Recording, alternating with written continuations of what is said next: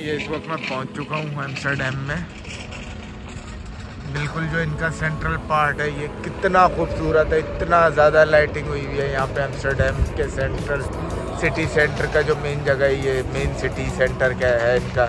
Memorial monument है उसके अलावा हर जगह इतनी ज़्यादा लाइटिंग हुई हुई है, इतनी ज़्यादा लाइटिंग हुई हुई है, इतनी अच्छी प्यारी इनकी नाइट लाइफ और ये सिटी इतना प्यारा है ना नाइट में। जब मैं अपना प्लेन से आ रहा था, तब भी मैंने देखा था इतनी ज़्यादा जगमग हो रही थी ये सिटी इतनी ज़्यादा जगमग हो रही थी ये आप देख ही सकते हैं मेरे पीछे ना, ये देखे, ये वाली रोड और अपना ये पूरी जगह देख सकते हैं आपके, कितनी प्यारी जगमग हो रही है। ये देखिए आप मेरे पीछे देख सकते हैं, ये मैडम तुसाट का म्यूज़ियम है। ये भी एक आइकॉनिक और प्यारी जगह है एम्स्टरडेम में।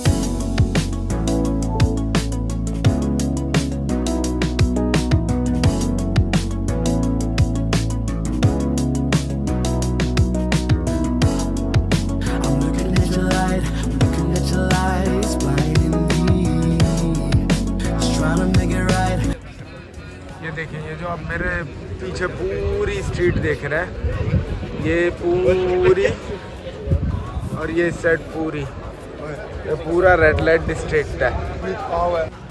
Full red red light district Amsterdam का जो पूरी दुनिया में मशहूर है।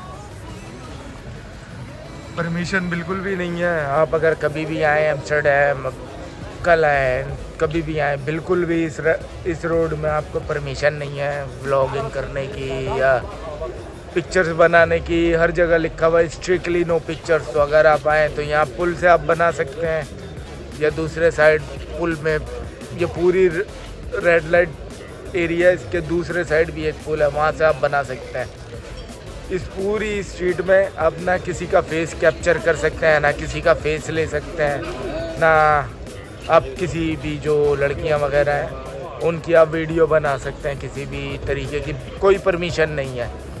तो आया था मैं वॉक किया मैंने। काफ़ी खुला डुल्ला माहौल है एम्स्टरडेम का। तो अगर अयाशियाँ वयाशियाँ करनी है। सस्ते में अयाशियाँ करनी है। तो आ जाएँ भाई एम्स्टरडेम वीट के कुकीज़ बबल गम्स और फुल जो है ना रेड लाइट में जो होता है फुल खुले आम चल रहा है।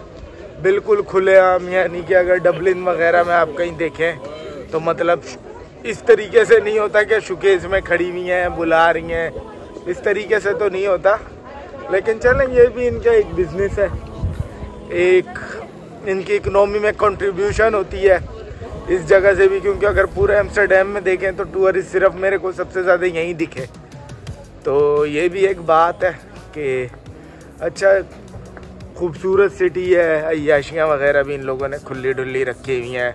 कोई पुलिस सिक्योरिटी के जो है लफड़े वगैरह यहाँ नहीं होते। तो सही है, और यहाँ के लोग भी ज़्यादा बुरे नहीं हैं, बस अच्छे हैं। इतने फ्रेंडली नहीं है, मगर इतने रूड भी नहीं है, बस नॉर्मल हैं जैसे होने चाहिए। तो अच्छी जगह है एम्स्टरडेम देखी मैंने। अयाशियों के शौकीन लोग भी आए, घूमने के शौकीन लोग भी आए आर्ट लवर्स भी आए।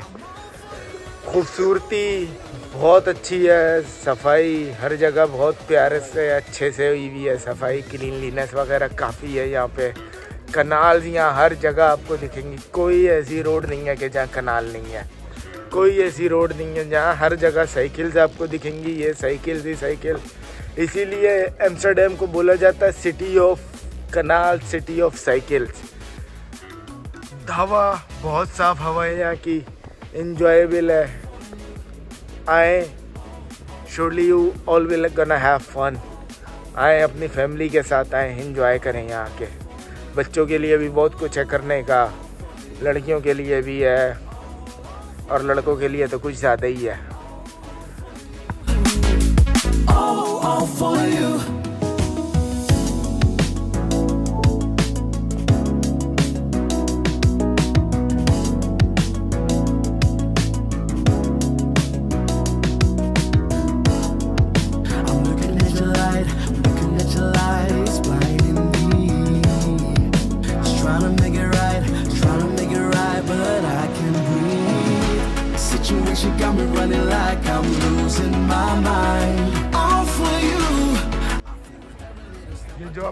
पीछे देख रहे हैं, ये रैम्ब्रेंट है।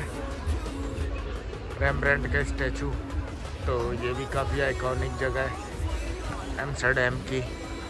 ये देख सकते हैं आप, कितना प्यारा किया हुआ है एम्स्टरडेम अब मुझे नहीं पता ये लाइट यहाँ पे यूजुअली होती है या अभी विंटर्स चल रहा है, क्योंकि यूरोप में विंटर्स में क्रिसमस की लाइटिंग होती है वो न्यू ईयर की तो वो फरवरी मिड ऑफ़ फरवरी तक रहती है। वो हमारे डबलिन में तो आयरलैंड में तो ऐसा होता अब ये नहीं पता मुझे, यहाँ ये परमानेंट लाइटिंग है, यहाँ पे कि अभी बस विंटर्स की लाइटिंग है, इसलिए लेकिन काफ़ी जो है लाइटिंग जो है, बिल्कुल खुल के हुई हुई है। बिल्कुल खुल के, हर जगह जहाँ जाओ, जगमग जगमग हो रहा है। इवन के रेड लाइट एरिया में गए, वो भी जगमग हो रहा था पूरा ना। तो ये आप देखें, ये लाइट्स वगैरह भी यहाँ पे काफ़ी अच्छी है एम्स्टरडेम में अगर जैसे कोई, कुछ टूरिस्ट होते हैं, वो सिर्फ़ लाइटिंग वगैरह देखने आते हैं, कुछ होते हैं।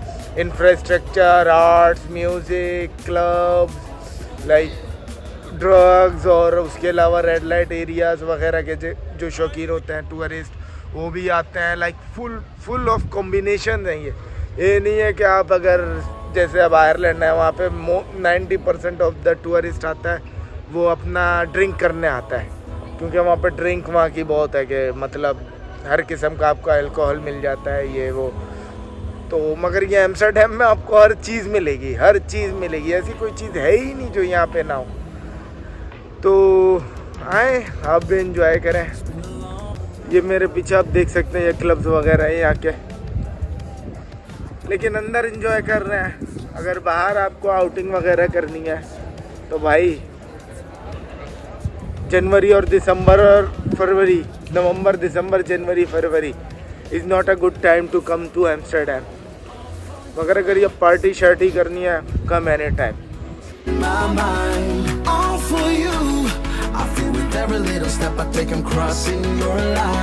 all for you.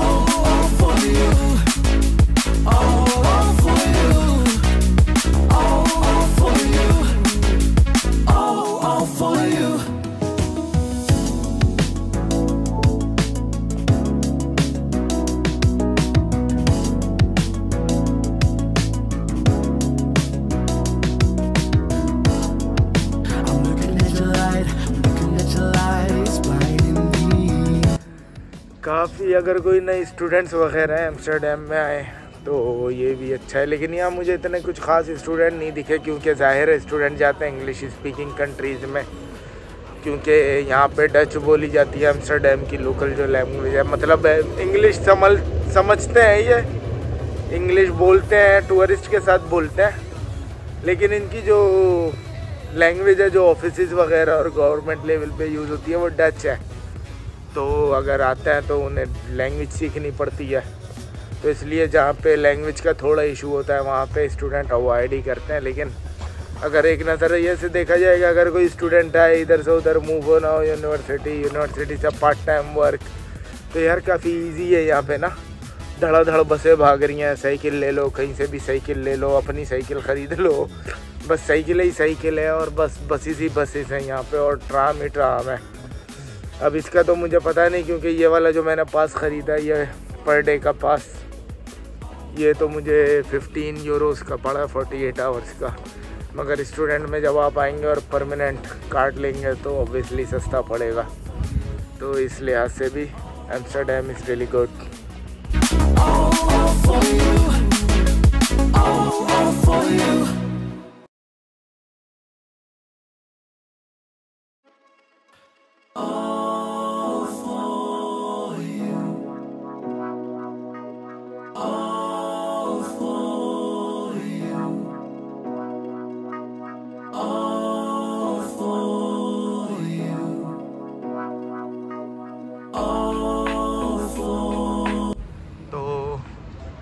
अभी हमारी एम्स्टरडेम का पहला दिन जो है फिनिश हो गया है।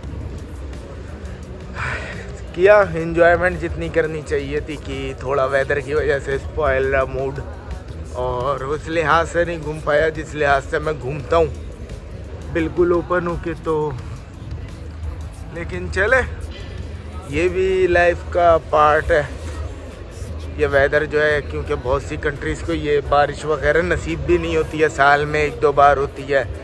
मगर ये वेदर भी यहाँ की एक स्पेशलिटी है, ये लाइटिंग और यहाँ का ये हर वक्त गीली गीली रोडें गीले गीली बिल्डिंगें साफ़ सुथरा इन्वायरमेंट ये, यही यहाँ की खूबसूरती है। तो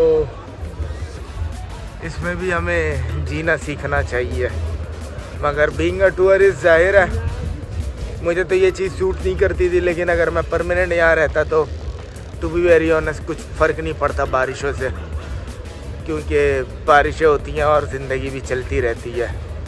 क्योंकि जैसे हालात होते हैं, उसमें इंसान जीना सीख ही जाता है फाइनली तो बारिश में भी हम जीना सीख ही गए थे आयरलैंड में, क्योंकि काम वगैरह हम कंटिन्यूसली करते रहते हैं। तो लेकिन यह है कि टूरिस्ट था मेरे चलने का ज़्यादा शौक है कि चल चल के एक्सप्लोर करूँ चीज़ें तो वो नहीं कर पाया यहाँ इस बात का दुख है।